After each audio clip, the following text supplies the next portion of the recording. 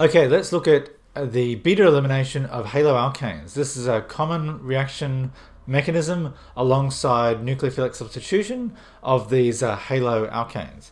So uh, this reaction is also known as dehydrohalogenation, D meaning loss of, and hydrohalogenation meaning the hydrogen and the halogen on the molecule. So it produces alkenes from the haloalkane. And it normally uses strong bases such as hydroxide, uh, alkoxides, um, very strong amines and amides. Um, it competes often with nucleophilic substitution reactions. So often we may see a mixture of products when we treat a haloalkane with a nucleophile that can also act as a base. So remember, nucleophiles have negative charge and they're seeking positive charge. And bases are very similar. They're, they have often a negative charge or partial negative charge, and they're seeking a proton or a Lewis uh, acid. So they're going to be uh, good at pulling a proton off a molecule.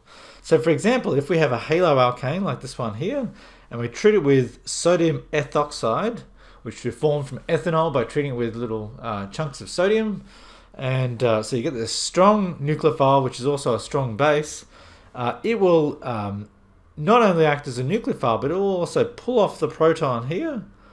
Electrons go over here, and then we kick out the leaving group, and we end up making an alkene plus an alcohol from the alkoxide and uh, a inorganic salt as a byproduct. So um, if we use a, a, strong base such as potassium tertbutoxide on a, a terminal alkyl bromide like this, then we can get a terminal alkene, so in this case, uh, 1-octene. If we did the reaction with um, a strong base and a tertiary alkyl bromide, we find that there's two possible products. There's either the double bond within the ring or the double bond uh, external or exo to the ring.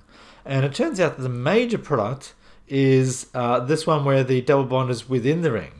And there's a general rule around this called Zaitsev's rule. So the rule is the major product of most of these beta elimination reactions is the more substituted alkene. So what do we mean by more substituted? Here we've got a uh, alkene with one hydrogen and three carbon-centered groups, or two uh, or three alkyl groups. Here we've got a uh, alkene with two carbonyl alkyl groups. And so therefore Zaitsev's rule says that this should be the favored product. And that's a general rule that we can apply to these beta elimination reactions. There's two major mechanisms, there's actually more than that, but there's two that we'll cover. Uh, two major mechanisms for elimination reactions. Uh, the first is the E1 uh, mechanism the rate of this reaction is only related to the concentration of the haloalkane times the rate constant. So this is very similar to the SN1 reaction mechanism uh, that you might have seen before. So the rate determining step in this uh, reaction is the ionization of the carbon-halogen bond. So we need to break that carbon-halogen bond to make a carbocation. And you might recognize this as the same first step as an SN1 substitution reaction. So once we film that carbocation, it can then combine with a nucleophile via a SN1 reaction pathway, or it can undergo an elimination. So we can get a base come in, take off these protons here, break that bond there to make a alkene such as this, and we form the conjugate acid of the base that we used over here. So um, the other major uh, elimination reaction mechanism is the E2 mechanism.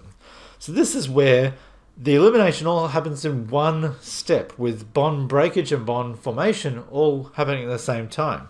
So we would normally have a strong base like ethoxide, it pulls off a proton, we break this bond here, and we lose the leaving group all in one go.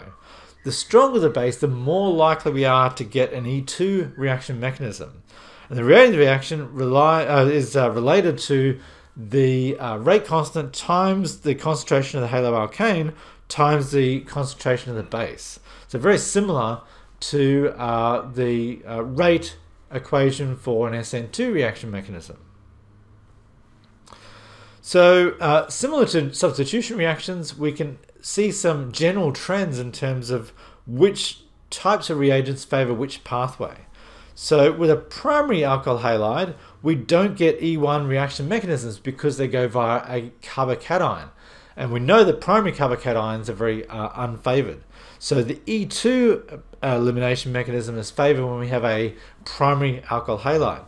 Similarly, if we have a tertiary alkyl halide, E1 is the main reaction mechanism because uh, we know that carbocations are relatively favored. And so weak bases, um, such as water and alcohols, will uh, be involved in E1 reaction mechanisms uh, that involve tertiary carbocations. However, a bit different to sub, uh, nucleophilic substitution reactions, E2 can be the main reaction profile when we have uh, strong bases such as hydroxide or alkoxides. Uh, and then in the middle here, secondary alkyl halides uh, can go via E1 or E2. Um, and once again, it's down to what base we're using. So strong bases will favor E2, uh, whereas weak bases will favor um, E1. And the weak bases are things such as water and uh, alcohols that don't have a negative charge. Okay, so looking at um, substitution versus elimination, we often have a competition between these two possibilities. So secondary and tertiary haloalkanes in polar uh, protic solvents give mixtures of substitution and elimination products.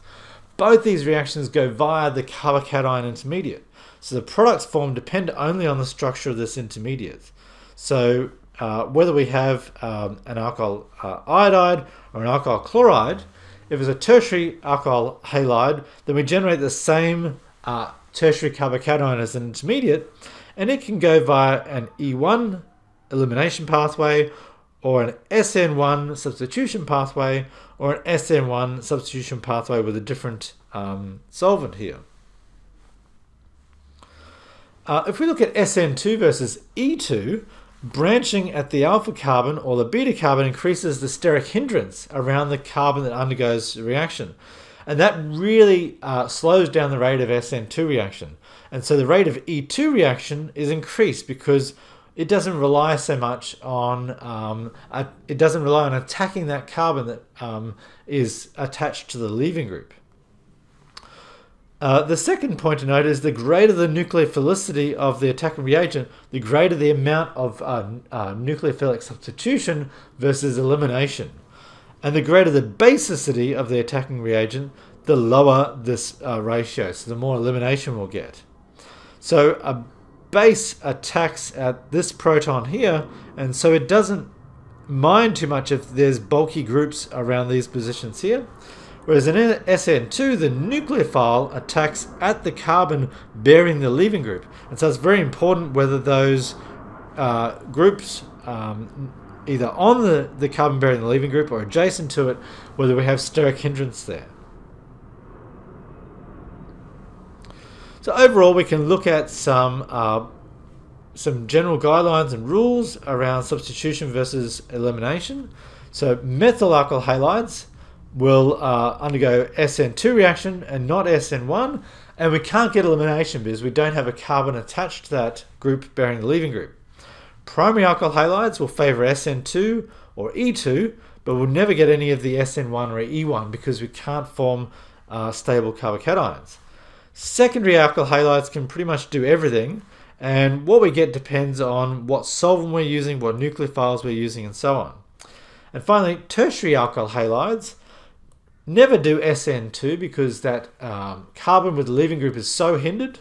They can do E2 and they'll do that with strong bases, or they can do SN1 or E1 with poor nucleophiles or, or weak bases. Okay, so hopefully that um, clarified some of the issues around elimination reactions. The two major mechanisms, E1, where we generate a carbocation and then that reacts with a base to eliminate to give an alkene, or E2 where we get the base come in and pull off the proton at the same time as we form the alkene, at the same time as the leaving group departs. And uh, hopefully this video showed you a few of the important factors to help you determine which mechanism is likely to occur. Okay, thanks for watching.